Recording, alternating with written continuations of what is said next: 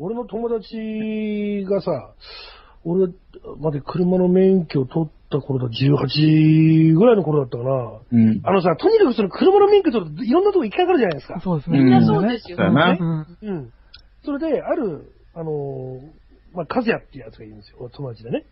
で、こいつん家にみんなで集まって、それで、まあ、古い汚いアパートなんだけどさ、うん。えみんな外にこう車をね、こう路中して、ほんで、そいつの部屋で、こう、その頃流行った、あれ、なんだったっけ、なんか、ハイシーオレンジがなんか飲みながら、うん。うわ、懐かしい。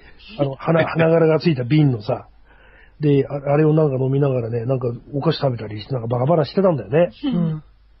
そしたらね、突然ね、そのうちの一人がね、ちょっと俺さ、実はさ、ここの間こんな体験したんだ、あんな体験したんだって、なんかお化けの話始めたわけよ。う。うんんうんうん。うん。で、ああ、そっちへ行くんだと思ったからさ、だから、じゃあ俺もと思って、俺もなんかいろんな体験した話して、うわうっかり気持ち悪いって、マジかよってみんなで、そうやって盛り上がってたんだよね。突然ね、バーンって音がして、うん。うん電気がバーンって消えたの。いや部屋のね。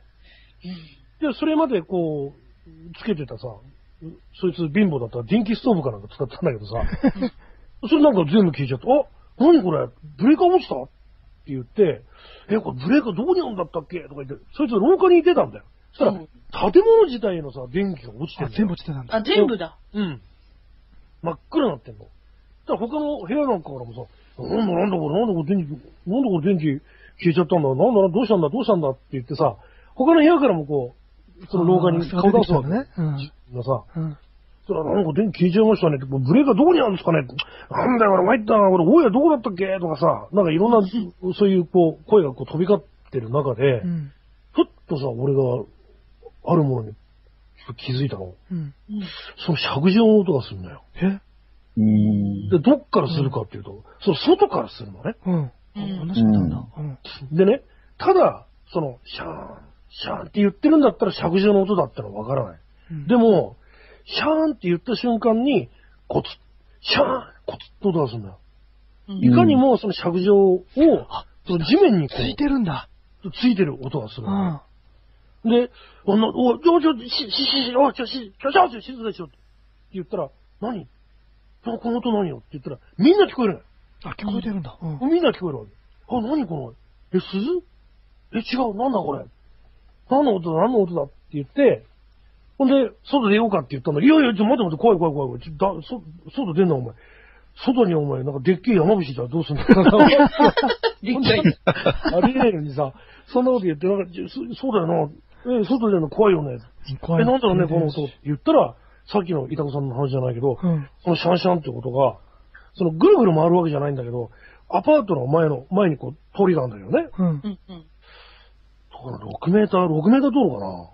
そうだよな。両側に車置けたんだ。うんうん6メーター道路だね。うん。その前を行ったり来たりするんだよ。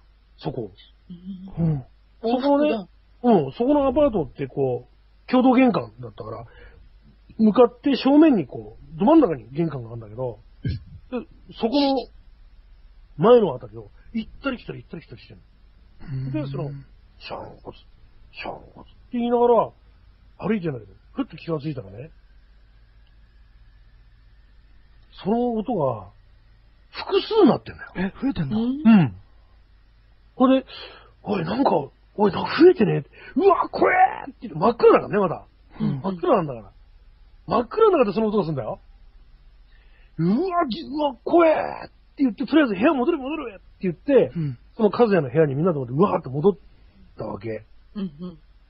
そしたら、その部屋っていうのは、道路とは反対側にあるわけよ。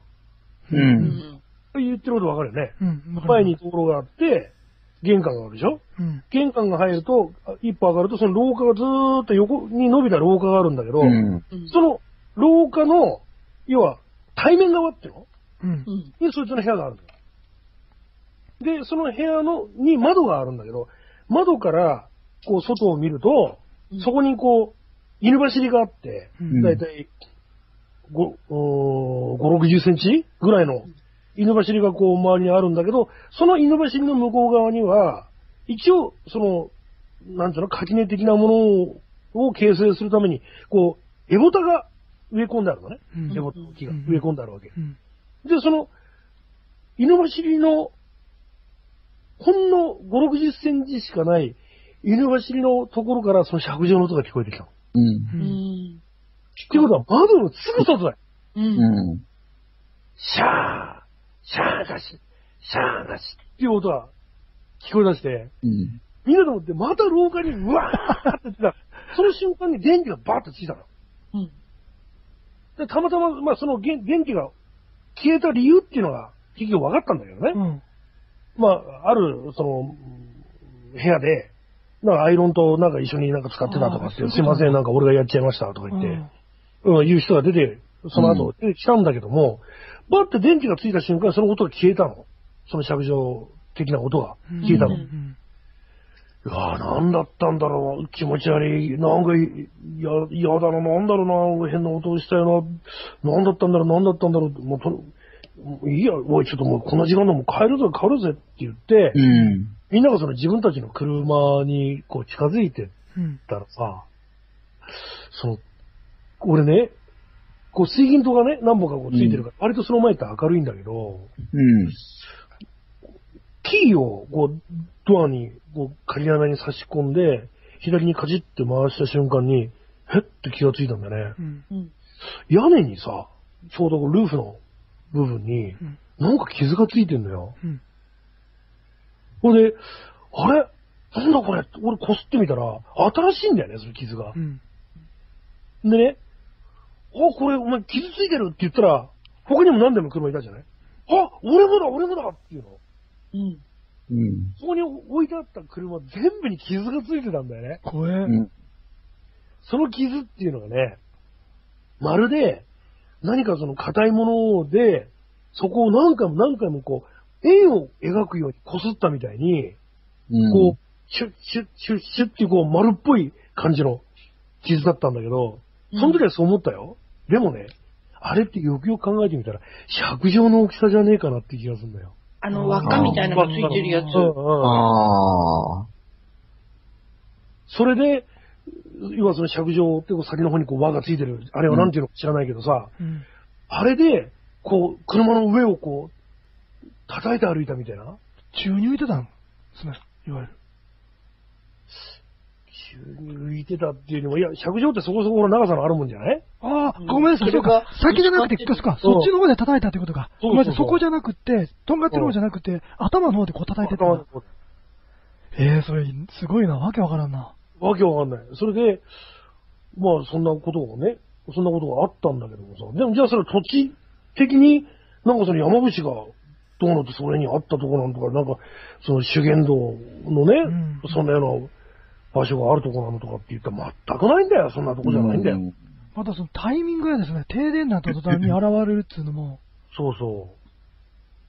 そんなことがあった。あれだから、未だになんだかわかんない。あれがだからその、逆な言い方をすれば、本当にその会議だったのかどうかっていう部分だってね、うんはっきりはしないけどね。ああ、まあ、おかしな。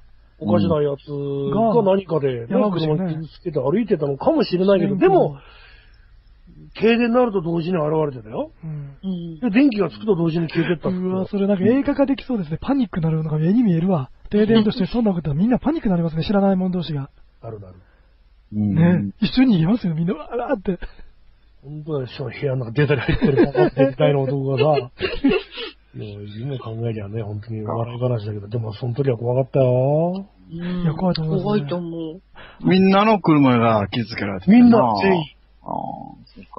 そっか。そでそれあれやろな、あの、訴えて裁判沙汰になったとしても、罪にならんやろね、その、おさ、上場尺上言うてね。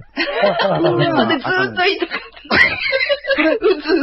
それ、あれですよ、早すぎますよ。やっぱりそれ、なんで0時58分に言わないんですか？ちょっと違う方向へ俺行って行ってそうな気がするんで、自分でなってた今。0時58分に言ってほしかったですね。次の休憩前に。ちょっと早かったう。な、さっきの頃時間。ね、もう、お願いしますよ。俺ね、なんかその辺行くんじゃねえかなって、尺状っていう言葉自体がね、だ何かそこにね、すりつけたくてしょうがなかったんでしょ、多分ね。もう、もう聞いてなかったよ、後半俺。そのタイミング、あれね、測ってたんですね。いつ行ってやろうかと思って。いつ言うたのか。言うたのかね。わかんねえ。恐ろしいな